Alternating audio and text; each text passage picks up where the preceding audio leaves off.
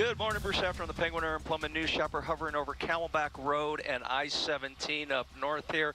And we've got a shooting in a QT parking lot here. So if you uh, head in there to get some fuel, you'll see the Phoenix Police Department doing an investigation where a suspect shot into that uh, red pickup truck, hit the sus or hit the victim in the leg. The victim was transported non-life threatening injuries, thankfully. And then the suspect is known by the Phoenix Police Department. So he is outstanding and they are looking for him. So that's what it looks like from the Penguin Air and Plumbing News Chopper, Preston.